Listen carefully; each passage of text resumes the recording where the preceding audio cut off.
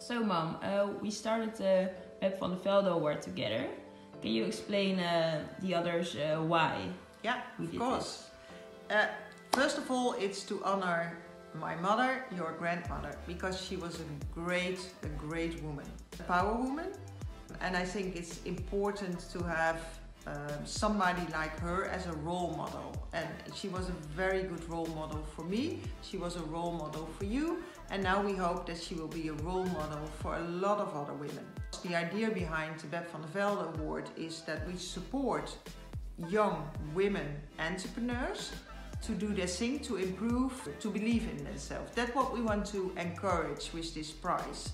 And of course, it's much more than a prize. It's also already a community we have been setting up. So the entrepreneurs are already connected. It's so important that they believe in themselves and that they will be the female leaders of the future. And, and I'm, I'm quite sure that we are proud of my mother, Bep, but she will be proud on us as well that we are doing this. So that's why we have the Bep van de Velden Award.